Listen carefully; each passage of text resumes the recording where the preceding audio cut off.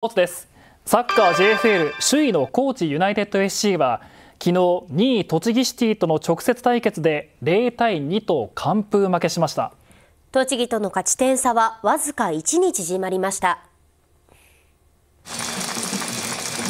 勝ち点差4で迎えた2位栃木シティとのホーム直接対決。ユナイテッドは前半30分相手にコーナーキックのチャンスを与えると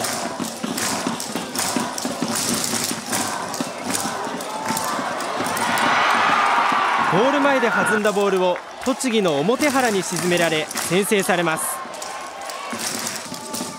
さらに39分にも攻め込まれ相手のクロスをキーパー大杉が弾くもこぼれ球を栃木の田中パウロ純一に叩き込まれリードを広げられます。2点ビハインドのユナイテッドは前半ロスタイム。樋口が自分で持ち上がり最後は東野。相手選手にクリアされます。エンド変わった後半左ウイングバックに上月を投入したユナイテッドは4分。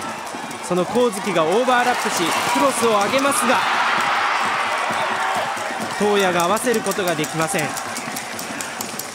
後半16分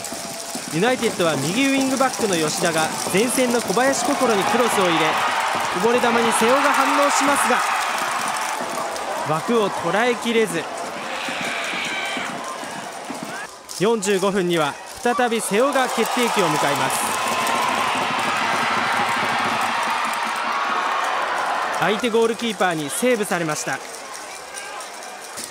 結局ユナイテッドは0対2で敗れ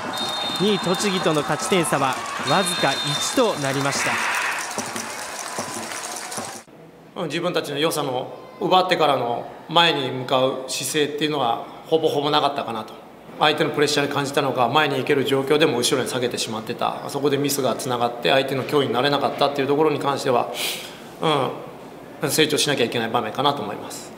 彼らは何とかしてゴールに1対1でもゴールに向かおうとする姿勢を見せた中でそれが難しかったら違う選択肢がある、うん、我々は単純にボール持っててもボール持つのが怖いのかなと一人一人が。勝ち点を、まあ、選手が感じてるんですかね。なんかそういう部分でこう思い切りがなくなってしまったりとか今の順位を守ろうとしているっていうのは非常に感じてます。ユナイテッドは次節アウェーで横川武蔵野 FC と対戦します。J3 昇格のためには2位までに入ることが絶対条件。1試合ごとに順位が入れ替わる可能性がある中でユナイテッドは正念場を迎えていますいや本当に悔しかったですね、ね、本当に私もね試合を見ながらガクってなってしまいましたね、本当に。はい、ただ、昨日もですね大勢のサポーターが入りまして、はい、昨日の観客数は2986人となりました、これでですねホーム戦残り3試合で3776人が入れば、つまり1試合平均で1255人が入れば、人数、はい、観客数での条件は満たして J3 へ上がれます、ただ、問題はもう一つの条件ですね、そうですね。J3 に上がるためには、ですね、はい、1位だと自動的に上がれるんですけれども、2位だと J J3 の最後のチーム最下位チームとの入れ替え戦をしなければいけないんですよね、うん、ですから勝ち点差1で今首位ですけれども、はい、なんとかこの勝ち点差1をキープしてもう残りの試合全部勝つぐらいの勢いでいってほしいですね。応援したいです、はい